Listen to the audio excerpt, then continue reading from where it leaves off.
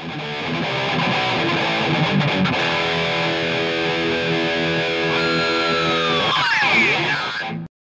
everyone, this is Bobby from bn-games.com and I have one question for you.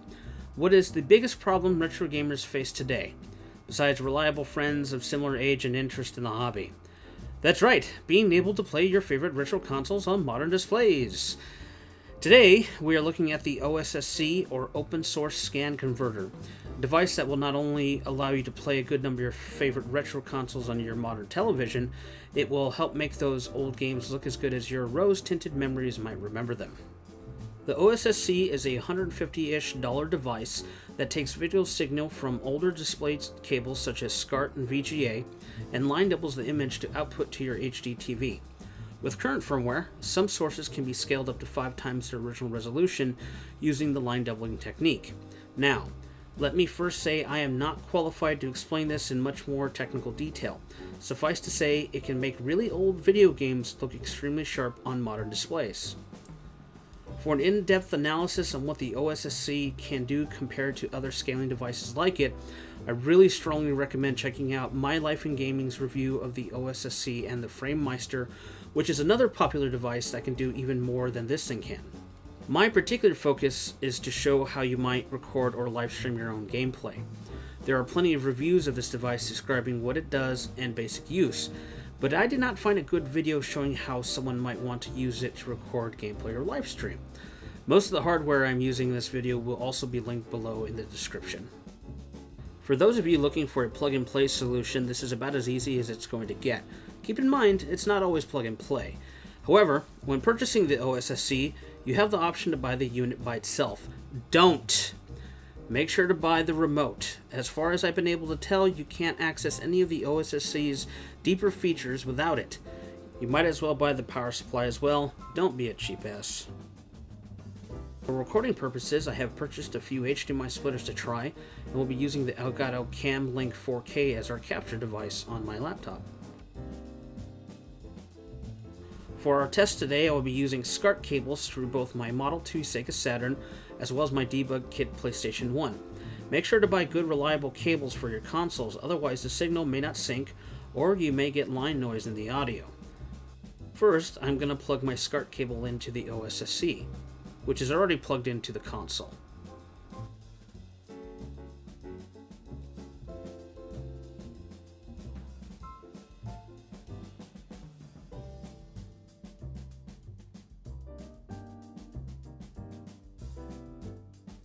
Next, I'm plugging the power supply into the unit, and I'm going to get it situated so it's easiest to get to the HDMI out. I'm using an HDMI splitter so I can play on the TV while the game is being captured on the computer. Footage on the computer will be delayed, making gameplay impossible. One of the splitter's outputs is going to my receiver, which is plugged into my TV.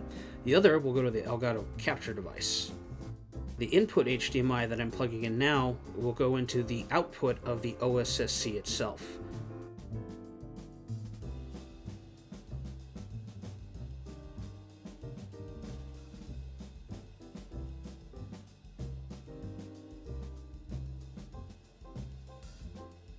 Please forgive the rat's nest of cables. This is my first test and it's not a permanent setup.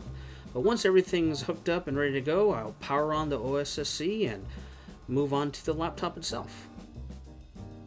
Today I will be using a 2019 Razer Blade 15 laptop to record. I reviewed this particular unit which is on my channel. You don't need such a powerful computer to record gameplay, but it certainly helps.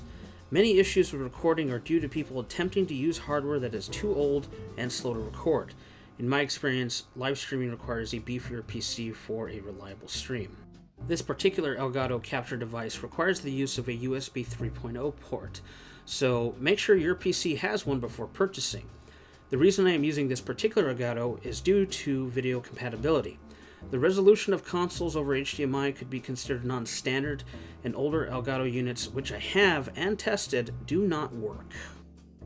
When you first turn on the OSSC, you'll get this grayscale image on your television. Right here I'm plugging the Elgato HDMI into the splitter. And as you can see, it's now showing up in the preview. What you don't see in this video is that I ended up changing to the Elgato game capture software as I kept getting audio sync issues with the cam capture software this particular capture unit was designed to be used with. It works perfectly fine in the game capture suite though. I also did some testing with OBS, which is used for live streaming, and it seems to work with a lot of tweaking, but my primary use is for recording uh, for YouTube, and the game capture gave me the best results. You will need to test with your own hardware and tweak where needed. In this clip, I changed from line doubling to line tripling mode with the remote behind the camera, which in essence is 720p. Now, 720p may not seem that impressive compared to today's device's resolution, but this is line doubling from a 240p source, which is a postage stamp compared to your 4K televisions. In my testing, I could not get a 4x or 5x scaling to display correctly on my TV, and the game capture did not recognize the signal anyway, so 3x is what I was left with, which I'm perfectly fine with. I'm currently running the .81 firmware, and I am aware that the .85 firmware is out at the time of this video, and I'm waiting on an SD card to arrive so I can update and test this all again. For now, this is a better result than I could have hoped for.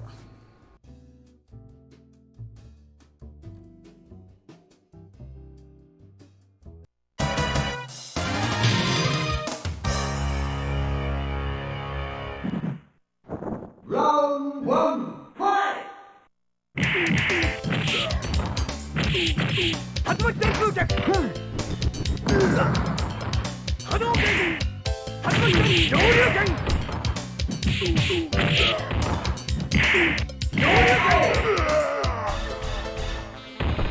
ったぜラウ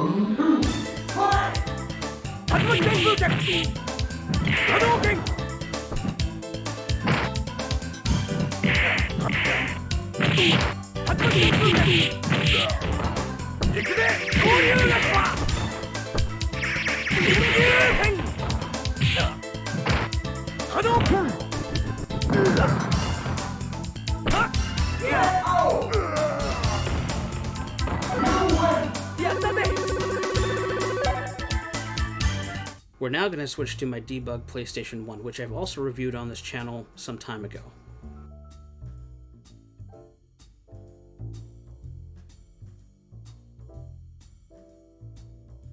For this test, we're going to now use Jet Moto 3, which is one of my favorite PlayStation 1 games and I think criminally underrated.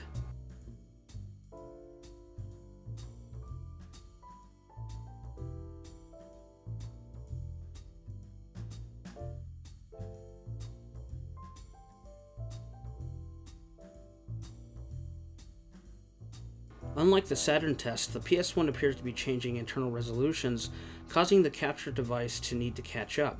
I found that there were brief millisecond skips every time the resolution changed, which also created multiple separate video files. More testing will be needed to be done with the upgraded firmware to see if I can reduce that. Otherwise, be aware.